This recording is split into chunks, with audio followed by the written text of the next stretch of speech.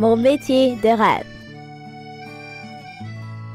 Ces capsules ont été réalisées en collaboration avec le Conseil scolaire Centre-Nord, financé par le Fonds de développement économique francophone de l'Ouest canadien, en partenariat avec le Centre de développement économique de l'Alberta.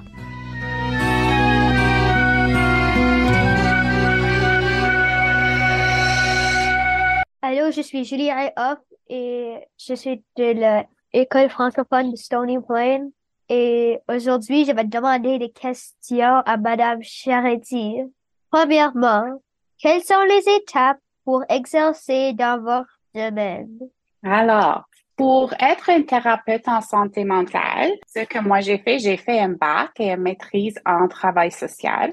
Pour faire un bac, c'est quatre années à l'université et ensuite une maîtrise, c'est deux années à, à, l'université. Mais j'ai pas tout fait à la même temps. J'ai pris quelques années entre les deux. Et ensuite, après ou pendant qu'on fait l'université, on fait aussi des stages. Alors, un stage, c'est comme une formation pratique où on va aller travailler avec quelqu'un qui fait déjà le métier qu'on veut faire. Uh-huh. Ça fait du sens? Euh, ouais. Ça répond à ta question? Oui. Mon deuxième question, c'est quelles sont les qualités humaines pour réussir dans ce métier? Alors, pour être un, un, thérapeute, il faut vraiment savoir bien comment écouter pour qu'on puisse comprendre nos clients. Et il faut aussi euh, démontrer de la compassion à des personnes. Il faut aussi avoir un esprit ouvert. Comme des fois, souvent, les clients ont peut-être pas les mêmes croyances ou les mêmes valeurs et ils ont aussi peut-être des expériences différentes pour nous. Alors, c'est ces, ces trois choses-là. Écouter, la compassion et un esprit ouvert. Hmm. Merci.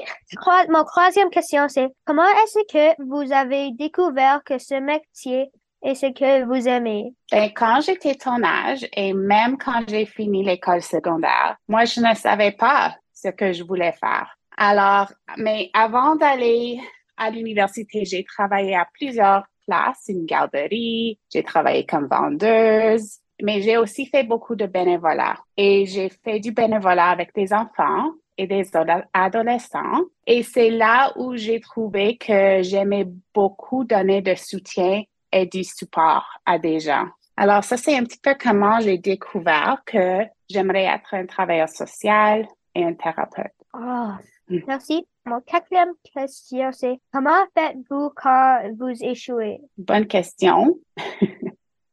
Alors, ce que moi je fais, c'est de parler avec une autre collègue, quelqu'un qui peut m'aider à vraiment voir la, situation de peut-être une différente façon. Um, et une de mes collègues me dit souvent, elle me dit, tous les humains ont fait des erreurs. Et c'est là où, où on comprend ce qu'on pourrait faire différemment la prochaine fois. Ah, merci. Ma cinquième question, c'est quels sont vos conseils pour moi pour réussir avec bien à l'école et dans la, vie? Alors, premièrement, moi, je te conseille d'être quelqu'un curieux, d'avoir de curiosité, d'essayer beaucoup de choses peut-être chercher des euh, prendre un cours en théâtre, lire des livres que normalement tu choisis euh, que tu euh, peut-être c'est un livre que tu choisis pas normalement et tu veux essayer de lire quelque chose d'autre par exemple. Aussi, quand tu es peut-être un petit peu plus vieux, je te conseille de faire du bénévolat et de travailler avec d'autres personnes. Aussi, ça te donne des expériences différentes et ça t'aide à aussi travailler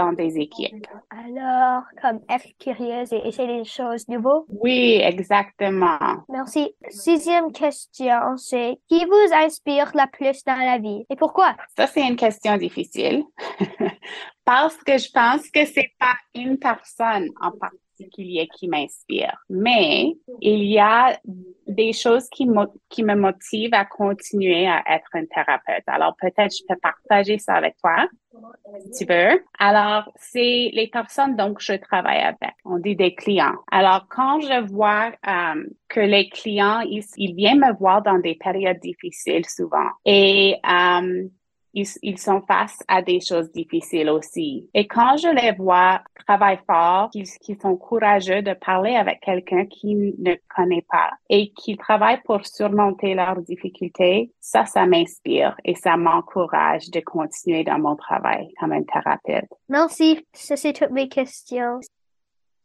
Je m'appelle Charity Louis, Charité Louis, et je suis une thérapeute en santé mentale.